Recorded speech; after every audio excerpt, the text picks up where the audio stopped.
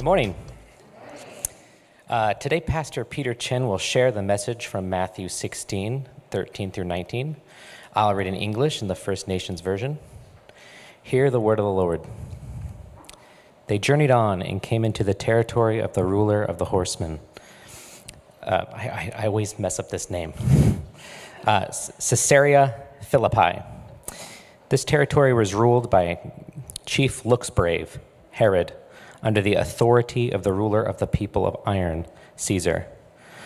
There was a cave and a deep bottomless pit there that was called by the local people the gate of the dark underworld of death, Hades. This was a place of bad medicine and lying spirits.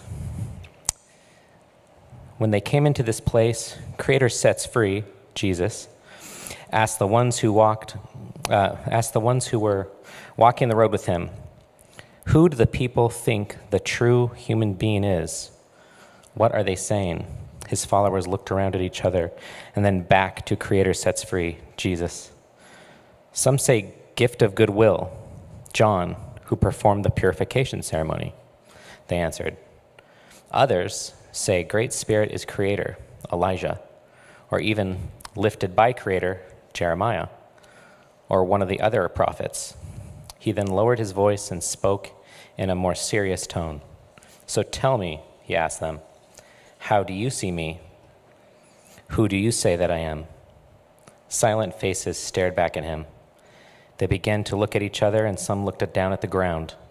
The moment of truth had, had come, but no one dared to speak. Then suddenly a voice pierced through the silence. You are the chosen one, one who hears, also called stands on the rock, Simon Peter answered, The Son of the living Creator. Creator sets free. Jesus smiled at him and said, One who hears, Simon, son of the wings of dove, Bar Jonah, Creator's blessing rest on you, for flesh and blood did not help you see, but Father from above opened your eyes. For this reason, I give you the name stands on the rocks, Peter, and upon this great rock I will make my sacred family stand strong. And the powers of the dark underworld of death, Hades, will not stand against them. I give you the authority of God's uh, Creator's good road from above. The things you do not permit on earth will be what Creator has not permitted in the spirit world above. The things that you permit on earth will be what Creator has permitted in the spirit world above. This is the word of the Lord. Uh, I did want to give a shout out to Christopher and Eunice for uh, their recent wedding. So glad that you guys are here with us today. We can celebrate that. Um, with that, we are going to get into the message for this morning. Um, we're in the sermon series where we're looking at names. We've been looking at the names of God, the names of, of people in the Bible. And today we're going to talk about a very famous name passage, which is this passage talking about, about Peter and where he gets his name, because his name is not originally Peter, his name originally is Simon. And this is where his name changes in Matthew chapter 16, where it says this Jesus replied, Blessed are you, Simon, son of Jonah. For this was not revealed to you by flesh and blood, but my Father in heaven. And I tell you that you are Peter, and on this rock I will build my church, and the gates of Hades will not overcome it. So, very famous passage that talks about this changing of names, where Simon's name is changed to Cephas or Peter uh, uh, at this very moment. So, kind of a very important name passage. But what I want to point out is that in this passage, he's not just receiving a name. It's not just a name change, right? The Apostle Peter wasn't just given a name, he was given a calling. That's really what you're hearing here. Just, think, hear this again. Um, and I tell you that you are Peter, which is the name, and on this rock I will build my church, and the gates of Hades will not overcome it. That's what he's receiving in this moment. There's much more than a simple name change. He's receiving a new calling for his life, a powerful calling which will last his entire life. And I think oftentimes when we read this passage, what we can take away from it is this sense that this is just for Peter. This is a very special moment that reflects Peter's special calling and kind of makes him stand out. I think that's a very Catholic understanding of Peter. I used to be a Catholic. And so we think about, um, or we thought about Peter as kind of being the Pope, Right? There's this very hallowed calling that only one person ultimately gets. But I want to remind us what Paul tells us in the book of 1 Corinthians chapter 12 when he says this. Now you are the body of Christ, and each one of you is a part of it. And God has placed in the church, first of all, prophets, second, uh, or first of all, apostles, second, prophets, third, teachers, then miracles and gifts of healing, of helping, of guidance, and of different kinds of tongues. Are all apostles? Are all prophets? Are all teachers? Do all work miracles? Do all have gifts of healing? Do all speak in tongues? Do all interpret? Now eagerly desire the greater gifts. And so, with that, Paul is reminding us that we're all part of the body and we all have a calling. We all have giftings. And maybe for some people it is to be an apostle like Peter, but for some people it might be a gift of healing or administration or something else. But that we all have a calling ultimately. And I think this is an important reminder as we talk and we think about Peter that, like Peter, each of us has not just a name, but a calling upon our lives. Every single person here. And I think oftentimes we get into this perspective where we think that there are certain people in church who have a calling, but not everyone. Not everyone has a calling. Pastors have callings, missionaries have callings, but the rest of us, we just do work, we just have families, we just have jobs. But I think the reminder that we want to take away from 1 Corinthians 12 is no, if you're a part of the body, then you have a calling as well, just as much and just as important as my own. And I really want to make that very, very clear. I have a gift with Scripture, I love teaching Scripture, but I have many shortcomings as well that someone in this body has and has a calling for. And that's something that I think we all need to recognize. In the same way that Jesus comes to Peter and says, You have a name and you have a calling, so does every person who has a name in this room. You do have a calling. And I think many of us need to hear that and recognize it's not just select people who go to seminary or go overseas who have callings, but every single person, if you have a name in this room, which I think everyone does, I'm assuming, you actually have a calling. You have a gifting and a calling that comes from God. And I think even if we just stop the sermon there, for us to reflect on that and think about what is my calling and to kind of understand that we're all called, I think is so important. But moving forward, we learn something very interesting about the callings in the very next passage where it says this in verse 21. This is immediately after what we just read. From that time on, Jesus began to explain to his disciples that he must go to Jerusalem and suffer many things at the hands of the elders, the chief priests, and the teachers of the law, and that he must be killed and on the third day be raised to life. Peter took him aside and began to rebuke him. Never, Lord, he said, this shall never happen to you. Jesus turned and said to Peter, Get behind me, Satan. You are a stumbling block to me. You do not have in mind the concerns of God, but merely human concerns. This is immediately after what we just read. So, in, in the first part of Matthew 16, he says, You didn't, Peter, I'm giving this new name. This is Peter, and on this rock, on you, this church shall be built. The early church shall be built. And literally, the next moment, what is he called instead? he's being called by Jesus, Satan, get behind me. Now, he's not Satan, but he's kind of acting in his interest, trying to dissuade Jesus from pursuing the Father's will. So he goes from one moment where he's on top of the world. He's like, My gosh, I just got a new name. Jesus gave me a calling and I'm good to go. And then the very next moment, he's like, Get behind me, Satan. He's like, Whoa, what, what just happened in this moment? What just happened? It's interesting for us to recognize that for Peter, he would fail to live up to this name and calling almost immediately. Almost immediately. This is a really important um, Bible reading um, uh, strategy, and that is whenever you're focused on a passage, always read the next one. So if you're at home reading scripture by yourself, never just read a passage, you're like, oh, I'm getting everything I can from it, because the next passage will teach you something else. And that's exactly what we realize when we read this passage as well.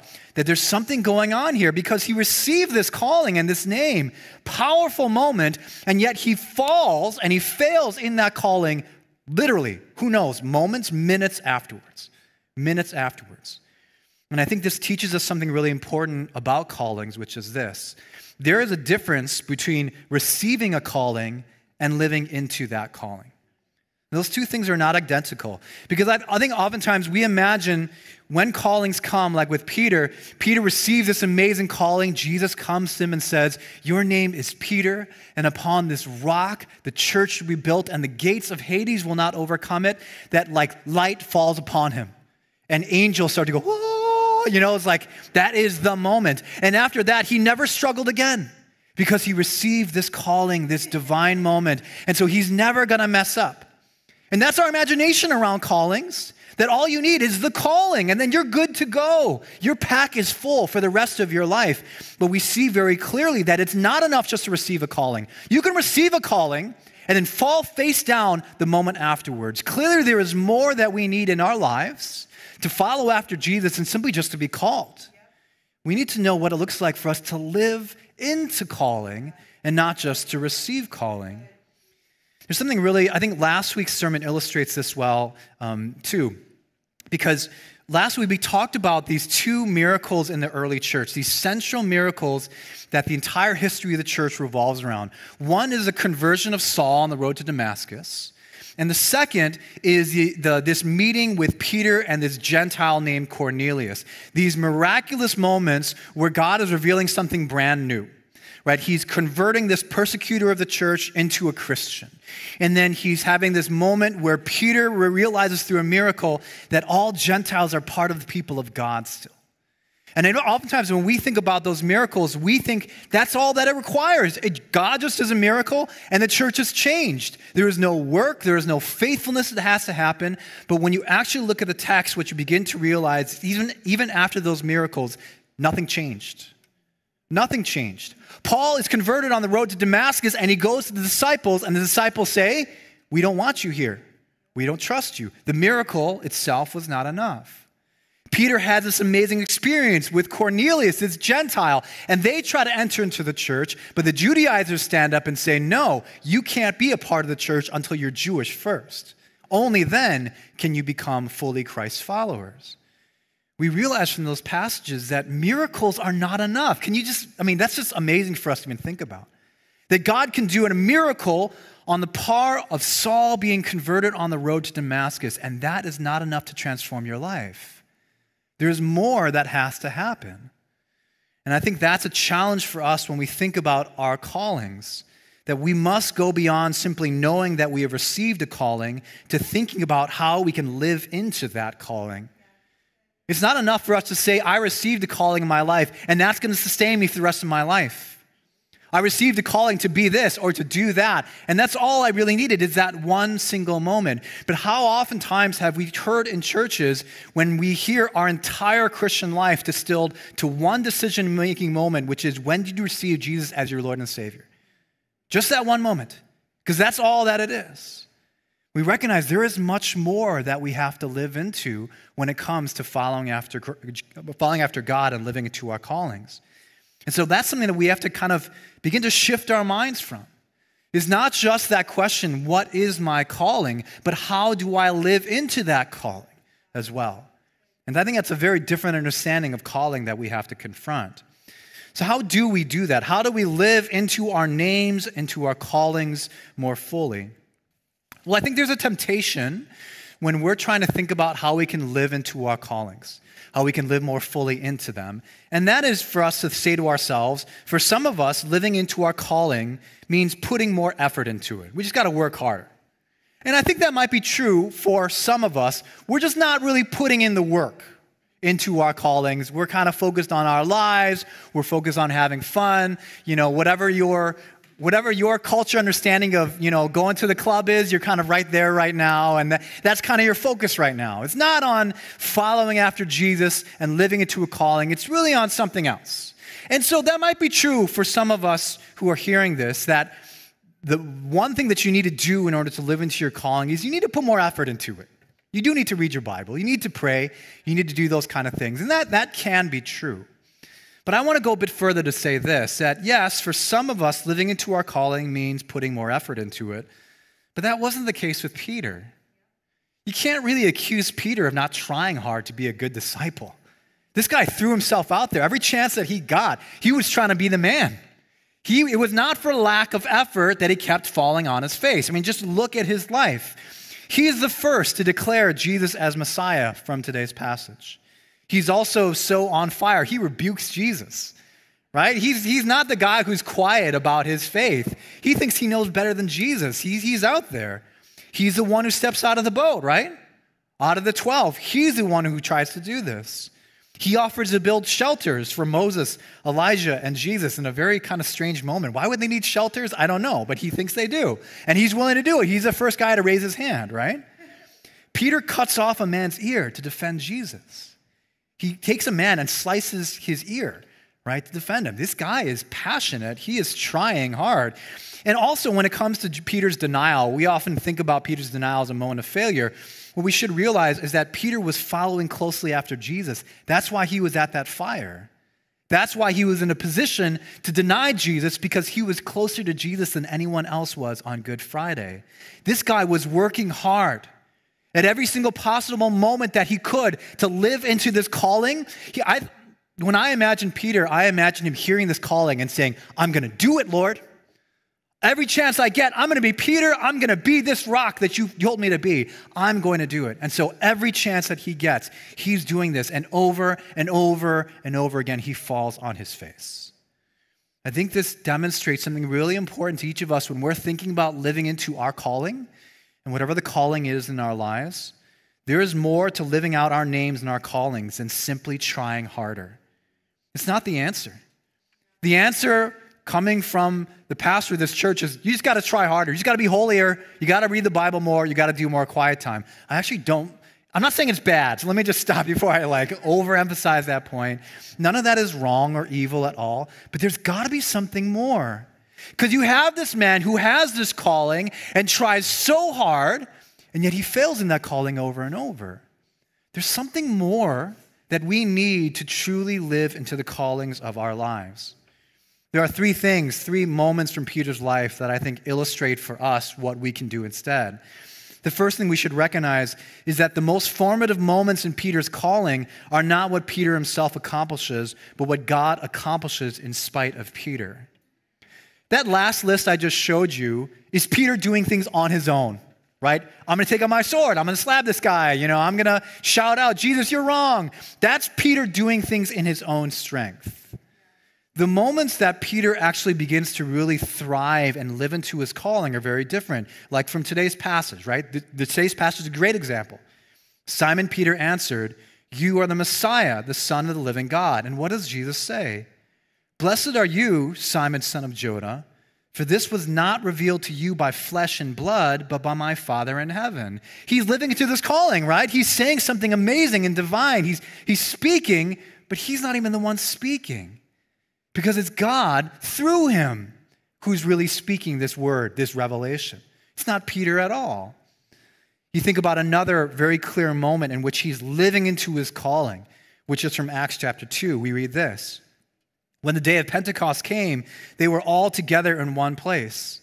Suddenly, a sound like the blowing of a violent wind came from heaven and filled the whole house where they were sitting. They saw what seemed to be tongues of fire that separated and came to rest on each of them. All of them were filled with the Holy Spirit and began to speak in other tongues as the Spirit enabled them. Then Peter stood up with the eleven, raised his voice, and addressed the crowd Fellow Jews, and all of you who live in Jerusalem, let me explain this to you. Listen carefully to what I say. Peter's living into his calling yet again, but Peter's not even speaking. It's the Holy Spirit who is speaking through him instead. And I think this is a good illustration of what calling truly is. Living out our calling means less about what we can accomplish and more on what God can accomplish through us. That is really what it means to live out a calling. And I think why that's hard for us is because many times we confuse the word calling with self actualization. We think those two things are identical with one another. I'm living into my calling, meaning I'm getting better in my career. My skills are developing. I'm better at what I used to do. All my talents are becoming sharper and more focused. I am living into my calling. But that's not what we find in Peter's life. We don't find him becoming more self actualized and a better picture of what it means to be effective and accomplished. When he's living into his calling, God uses him more. And I think this is a dramatic reshaping of what it means for each of us to live into our calling, including myself. Living into my calling is not me getting better at what I do. Living into my calling is when God is able to use me more. And I think when we think about calling, we need to put away this worldly understanding of I am getting better, I am climbing a ladder, I'm becoming more self actualized, to this understanding is God able to use me? Am I being used by God? Because that is what a calling truly is.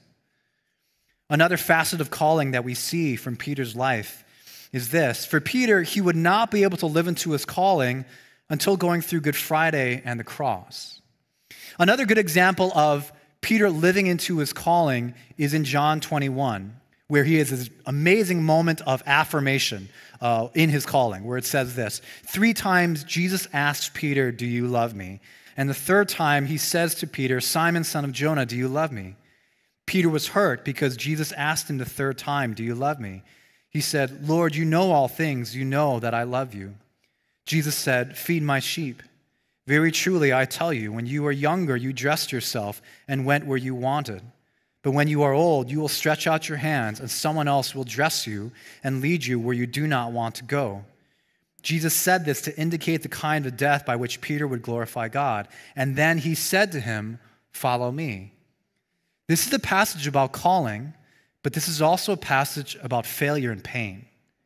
Because Jesus asked him three times, Do you love me? In a parallelism to the three times that Peter denied Jesus. He's reminding him of his own failure. And even in the midst of this reaffirmation of this calling that he gives Peter, what does he tell him? Peter, you're going to die. One day someone will take you by the hands to a place you do not want to go, a prophecy of his own martyrdom. This calling, this affirmation of this calling, this moment where he says, Follow me, is not, it's going to be awesome. You're going to love this. And you did a great job, Peter. Come and follow me. It's Peter, you, you fell short, but I will restore you. Come follow me. Come follow me to the same place I had to go.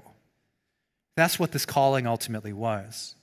And I think, again, this is a dramatic reshaping of what each of our callings is. The path to living into our calling goes through our moments of suffering, failure, and loss, not around them. I think oftentimes when we think about our callings in the worldly understanding of it, the moments that we fail, the moments we get fired, and the moments of doubt and suffering and loss, they stand in the way of those callings. They get in the way of us living into the fullness of who we could be or what we would really want to be doing with our lives. I was doing great until this happened, until someone got cancer, until I got fired, until I had this moral failing, and then it all fell apart. And that's how we often conceive about our callings, that we think our callings are um, in opposition to our pain. we saw in Peter's life is that his pain is part of the calling.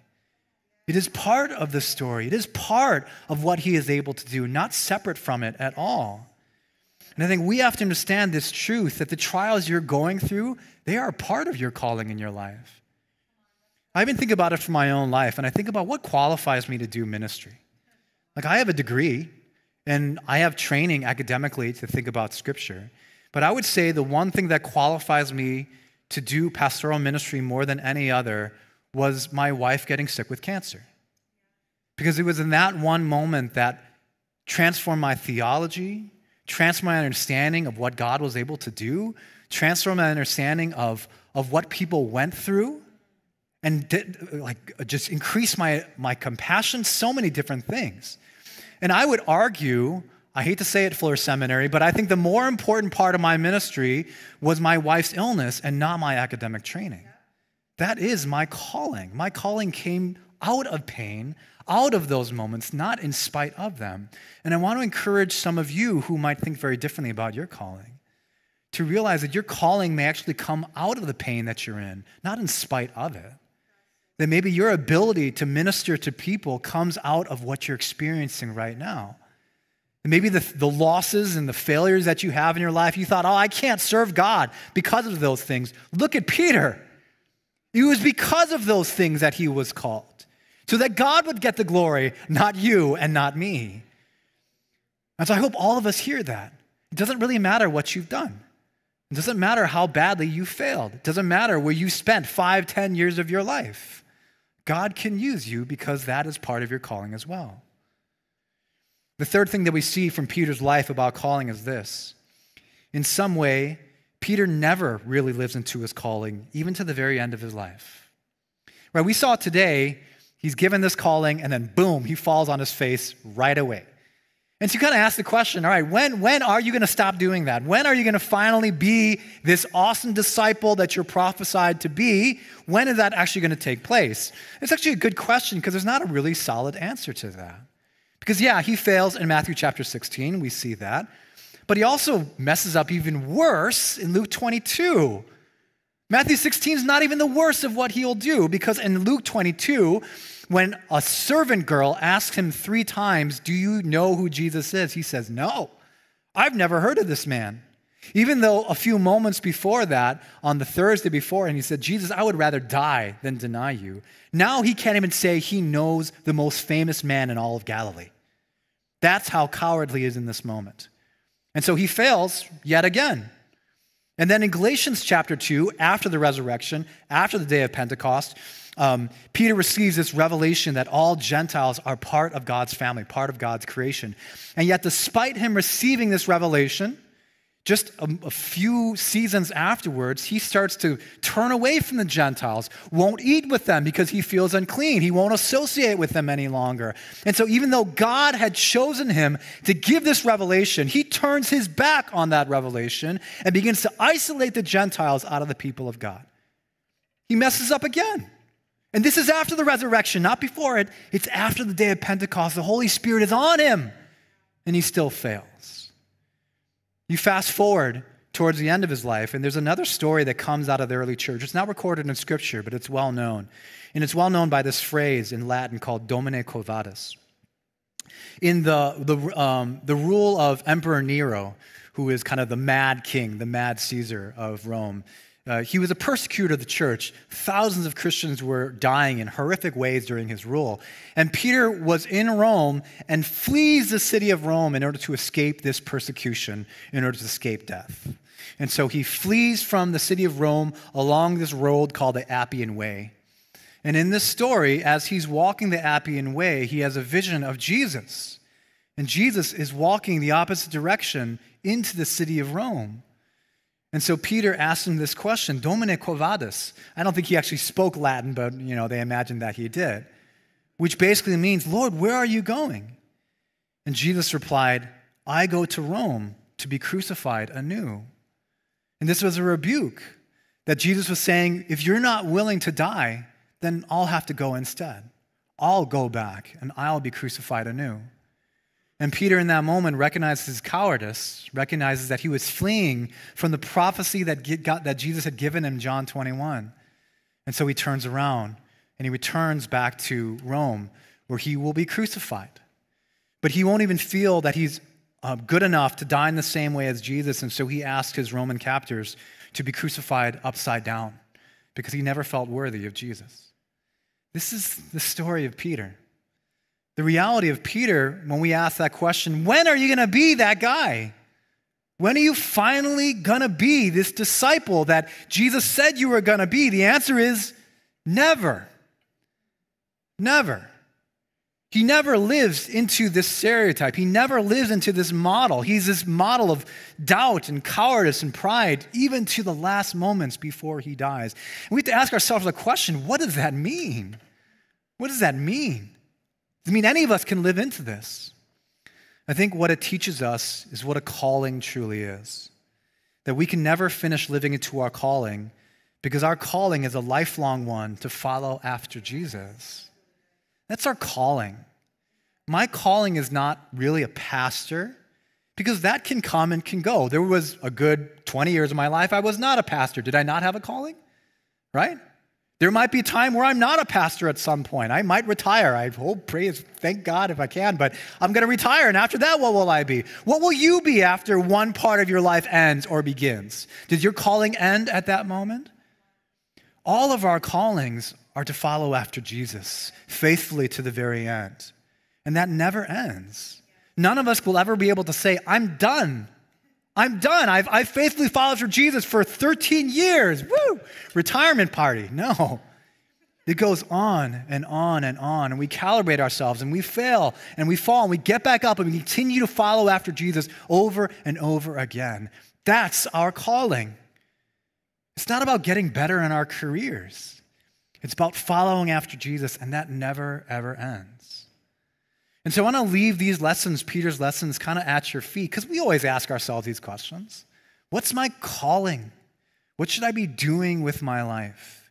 And I want today to be a reframing of that question, that we be asking very different questions instead. Instead of self actualization, asking the question, How can I live into my calling? How can God use me more? Because that's calling. How can I live into my calling? Meaning, how can the places of pain become my places of ministry? Because that's calling. And the third question how can I live into my calling? How can I continue to follow after Jesus? Because that will always be all of our callings, no matter who we are. Why don't we take a moment to reflect on that and the worship team if you want to come up? Um, but again, I think we spend so much time in this world and kind of just taking in the world's understanding of career, vocation, calling, family, that it's so difficult for us to see a godly calling without seeing it through the lens of what this world has taught us. And so, again, I just want to speak those words, what we hear from Peter's life about his calling, over each one of us, that we might begin to reframe in a very deep place our understanding, our, the term that we use when we think about calling. And for right now, when you hear that word calling, to hear this phrase, calling is what God can accomplish through you. It's not self actualization, it's not your potential being realized. It is your ability to be used by God instead. That is your calling.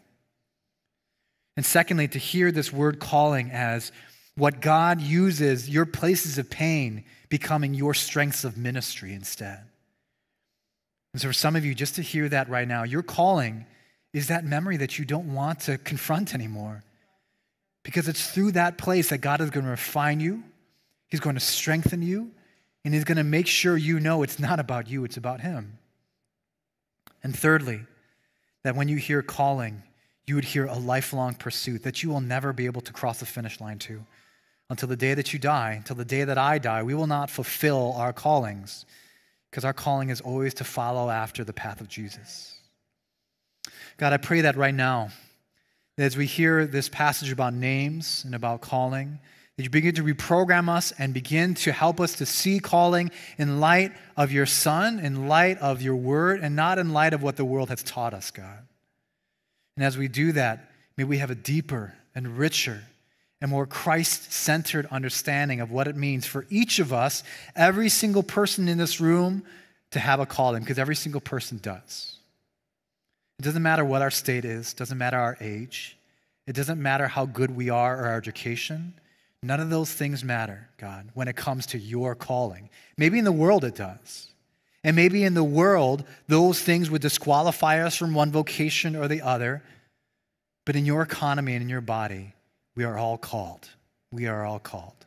God, I pray even right now, call your people, call each person to follow after you. And we pray this in the name of Jesus.